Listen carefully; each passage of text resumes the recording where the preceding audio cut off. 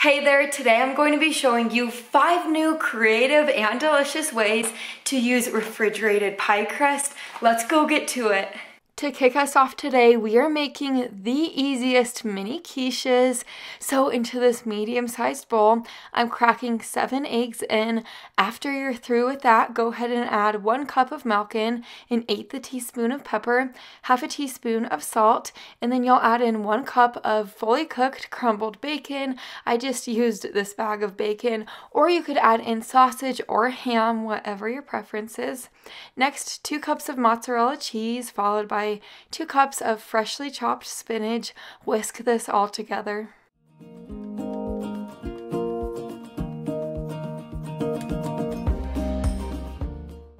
Over to my cutting board, it is time to work on our pie crusts now. So I have a 14 ounce package of pie crust. It comes with two pie crusts just like this. You're gonna cut them into about three and a half inch round circles. I just used a cookie cutter or you could use a rim of a glass or a measuring cup.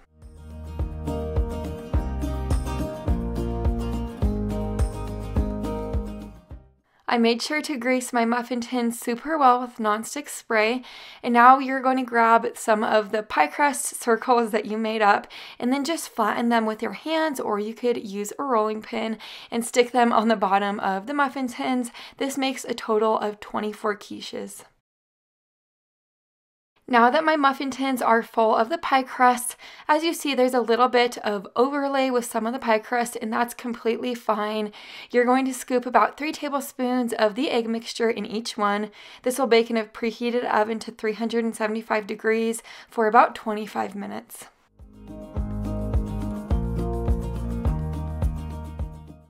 My family absolutely loves these little mini quiches.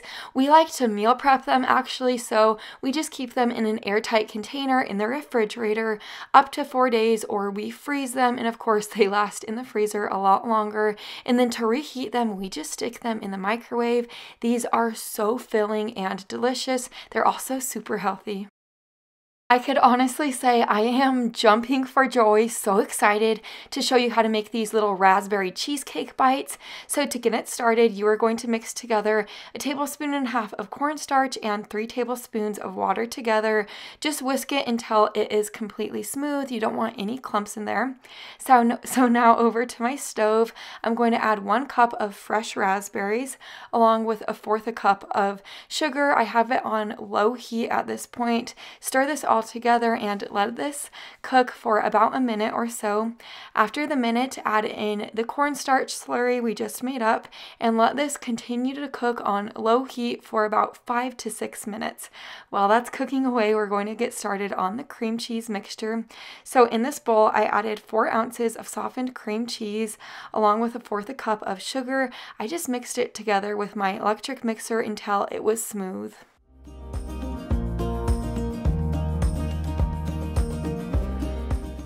Once it looks something like this, it is time to add in one egg yolk along with a half a teaspoon of vanilla extract and a half a teaspoon of lemon juice. You're going to continue to mix this together with an electric mixer or a whisk for about two more minutes.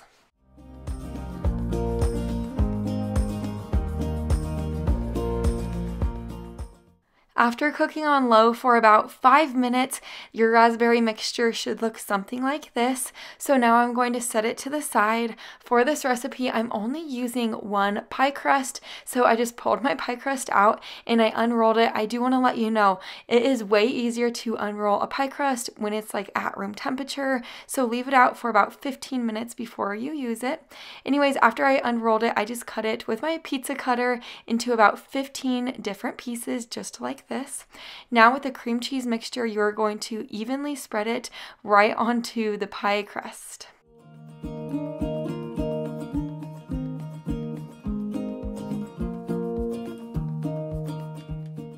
Right over the yummy cream cheesy cheesecakey mixture, you are going to add that beautiful raspberry mixture. Try to spread that out as even as possible. And then after that, you're going to roll up each individual um, triangle that you cut. It might get a little bit messy, but don't worry, it will be absolutely perfectly delicious in the end. Now you'll be placing the raspberry cheesecake bites on a sheet pan lined with parchment paper. This will go in a preheated oven to 375 degrees for about 20 to 25 minutes or until they are a nice golden color on top, just like this. I sprinkled mine with a little bit of powdered sugar on top. I cannot even begin to describe to you how good these are. You need to try this recipe. This is probably one of my favorite treats of all time. They taste perfectly like cheesecake on the inside and they have a strong raspberry flavor. They are so good. Now we're making these really simple pizza pockets. To get this one started, I have 14 ounces of pie crust right here. It's the equivalent to two pie crusts if you're wondering. Just unroll them onto a cutting board or a surface and then place them on top of each other. They won't stick together, don't worry. And then with about a four inch cookie cutter or a glass or something around four inches, just cut out circles like this. With any excess dough, you could just roll it into a ball ball and then roll it out with a rolling pin and then make more circles out of it. But anyways, now I'm going to separate the top of the pie crust from the bottom on two separate plates.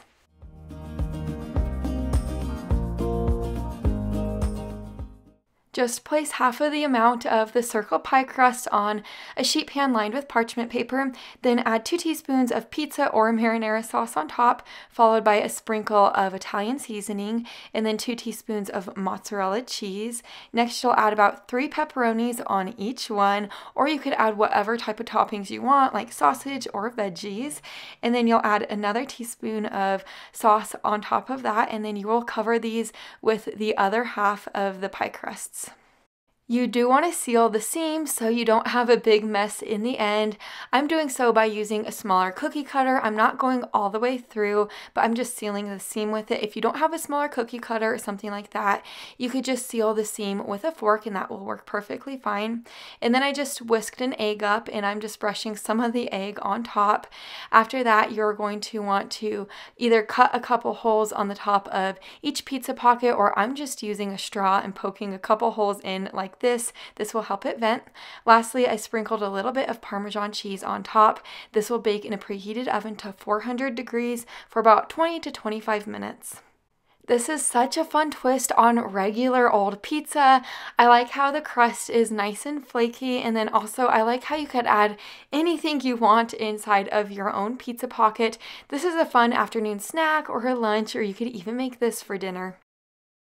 You are definitely going to want to make these hand pies. They are out of this world. So for this recipe, I'm using two pie crusts, so 14 ounces of pie crust.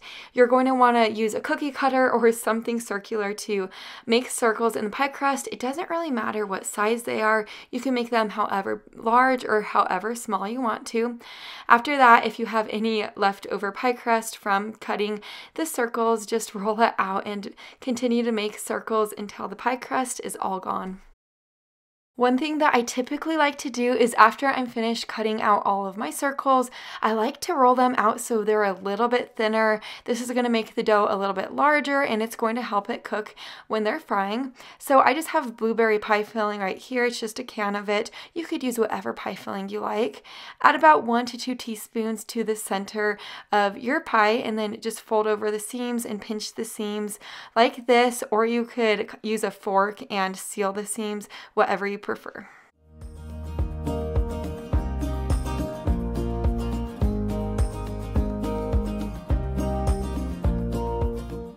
Over to my large pot, I'm going to be adding about three cups of vegetable oil, or you could use canola oil. Let the oil get hot. You do want to make sure the oil is hot before you add the hand pies in, and then go ahead and add them in. You want to add them in batches just so you don't overcrowd the pot, and they'll cook better like that. So after a couple minutes of frying on each side, I remove them to a separate plate lined with paper towels.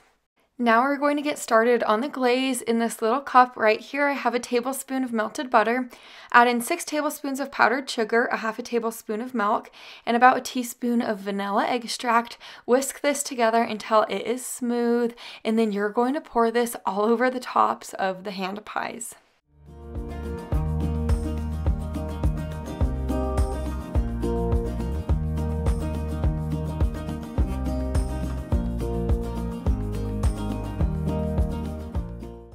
We used to have hand pies like these all of the time during the summer. They are perfectly flaky on the outside, the glaze is divine, and the filling on the inside is nice and warm. This is a recipe you have to try. Now we're making this simple cheeseburger pie. Don't knock this recipe until you try it. I think you'll like it. To get it started, I'm just dicing up one onion into smaller pieces. My family likes onion, so I used an entire onion, but you could use a half of an onion or a quarter if you don't want so much onion. To my pan, I just added one pound of ground beef, cook the ground beef through, and then remove any excess grease. Now that my ground beef is cooked, add in your onion. Cook the onion with the ground beef for about four to five minutes or until it starts to soften.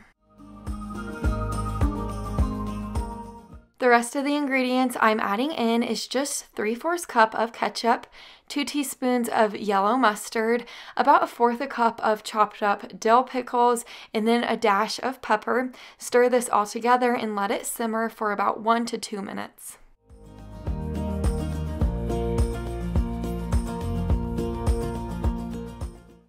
Into your pie pan, add that filling and then spread it out evenly. Sprinkle one cup of shredded sharp cheddar cheese over the top, and then with one pie crust, put it over the top of the cheese, and then kind of push it down. And with any of the pie crust hanging over the edge, I just like to cut it off.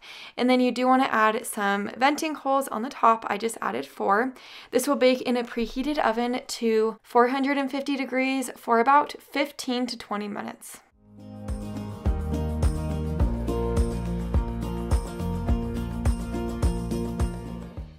This is such a fun twist on a regular cheeseburger. The filling on the inside is absolutely delicious. It's cheesy and that pie crust tops it all off. I have so many more videos like this on my channel, so make sure you're subscribed so you don't miss any more in the future. I'll see you in the next one. Bye for now.